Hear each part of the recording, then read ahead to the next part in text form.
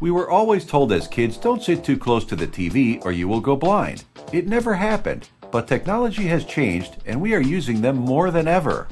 Now, blue light emitting LCD screens are everywhere. We hold them closer than ever and for extended periods of time. Studies show that 83% of children use a device more than three hours a day. Of those, 80% of children complain about burning, tired, blurry, or itchy eyes after extended periods of use. Blue light is super hot light. Although it feels cool to the touch, that affects the back of the eye, the retina, and creates maximum retinal cell death. Doctors are discovering that young children, even as young as 4, are having early signs of macular degeneration from retinal cell death. Rest your eyes, not your technology. Get some Bluebies today. Bluebies.com.